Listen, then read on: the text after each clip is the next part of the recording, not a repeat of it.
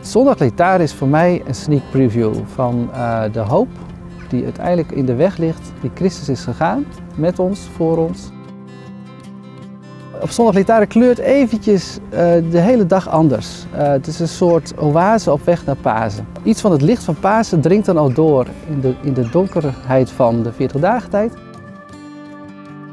Letaar is voor mij belangrijk omdat daarin heel erg duidelijk wordt voor mij wie God is. Uh, God is niet zomaar een, iemand die alle omstandigheden, alle, alles van het leven eventjes recht zet. Uh, maar hij geeft glimpen van hoop in, in de donkerheid van het bestaan. En hij gaat daarin met ons de weg, met de macht en kracht die hij heeft. En tegelijkertijd ook de kwetsbaarheid die hij met zich meedraagt als mens.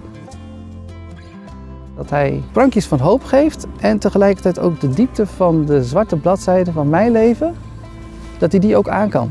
Uh, en dat alles wat in mijn leven niet klopt, uh, wat, uh, wat, wat, wat mij hindert, wat in de weg zit, dat hij daarin ook toch ook een weg voor mij wil banen naar, de, naar de toekomst die hij ons belooft.